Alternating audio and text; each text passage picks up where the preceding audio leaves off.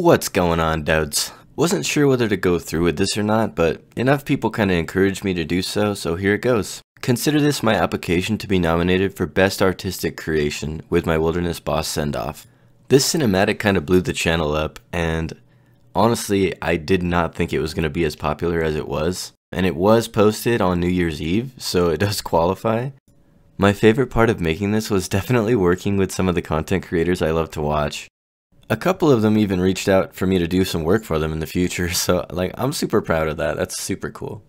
I am so grateful to anyone who has reached out and said they voted for me for best new artist.